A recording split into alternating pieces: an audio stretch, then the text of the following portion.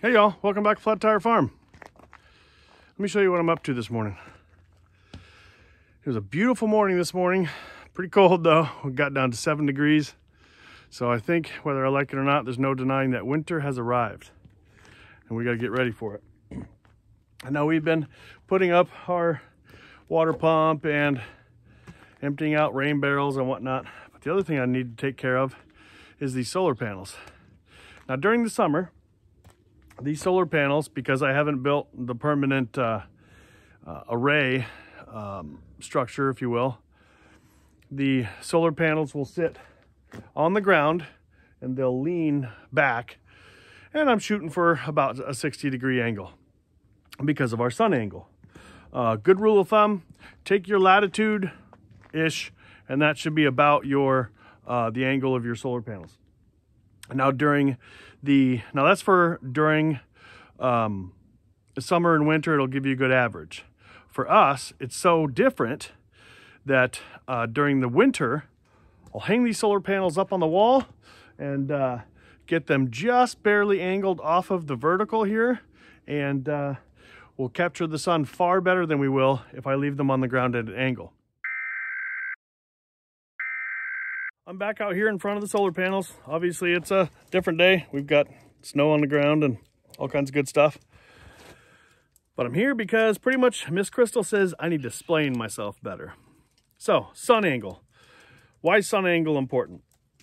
When you have a solar system, you want the angle of the sun hitting it to be as close to perpendicular or dead on as you can be.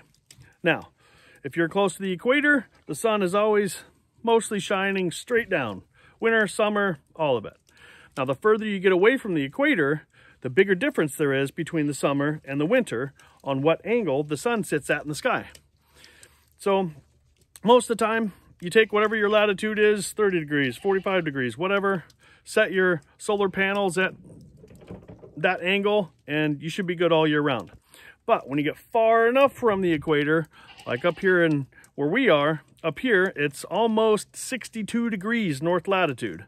So the difference between the angle of the sun in the summer, which is almost perfectly overhead, and the winter, which is right barely clearing the trees, makes a big difference on your solar panel performance.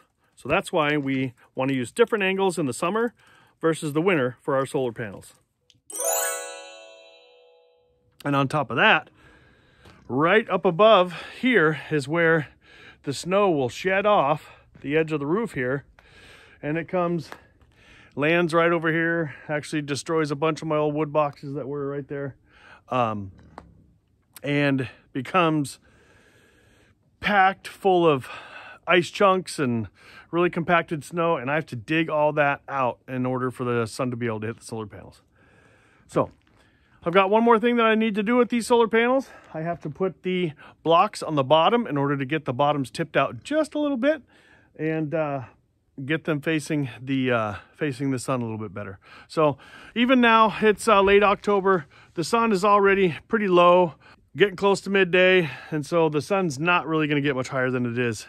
So I'll put the blocks on the bottom here, uh, get the bottoms angled out just a little bit. I'm gonna screw them in place so that they don't fall out.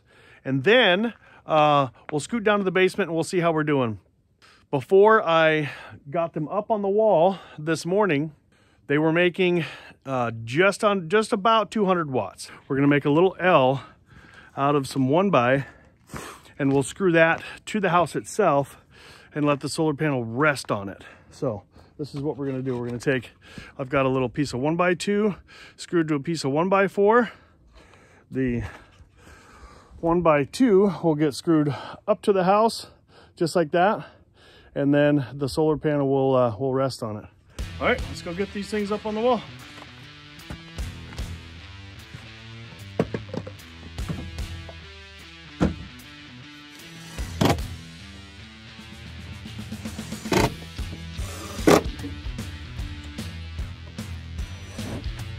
I think if I leave my ladder up against there, I might not fall over. Let's find out.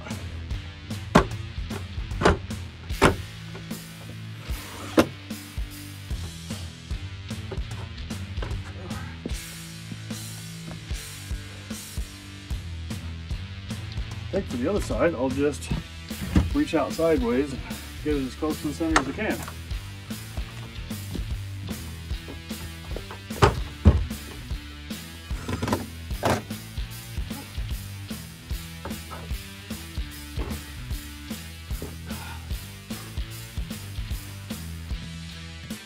All right, y'all. Let me Pick up a couple of these tools and we'll scoot on down to the basement and see what it's looking like on the uh, charge controller, see how much power we're making. All right, so here you have it, y'all. This is our charge controller. And let me get the glare off of it. You can see that our the power that we're putting in right here is 8.860 kilowatts or 860 watts. And this morning we were looking at about 200 watts. So that is fantastic. So thank you all for joining us on the homestead. We'll see you next time.